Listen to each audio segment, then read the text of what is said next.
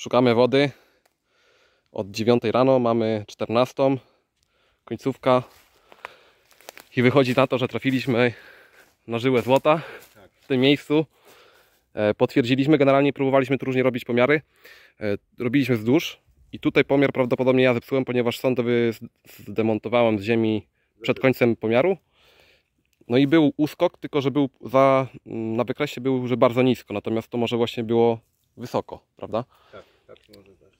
Generalnie próbowaliśmy przeciąć jeszcze tak, czyli obok trochę przeszliśmy chy- chyba, jakoś tak się łamało, prawda? Bo ja później uciekałem w tą stronę, Tak, tak. niżej, Za, za dużo Także- my mogli, od tego miejsca, jak wiesz, dwie sondy wbiliśmy, to było tak obok.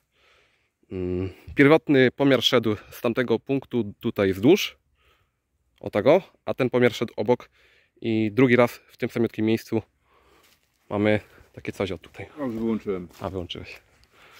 Takie urządzonko. I nie ma kurde tych panów tutaj różkarzy. Miałem tutaj różkarzy pięciu. No to tam jeszcze niby mam miejsce, w którym e, wczoraj był różkarz i wskazał je. Dzisiaj potwierdziliśmy, że jest tam, patrząc na całą górę, jak tą górę badaliśmy, no to w to miejsce no jest takie trochę e, na tym wykresie widać, że coś tam jest, natomiast jeśli chodzi o, o to, czy tam będzie woda, to ciężko powiedzieć. Prawdopodobnie bardziej taka jest coś mokrego i to wszystko. O, tak wygląda pomiar. Dwie sondy w ziemię. Tak się to powinno robić.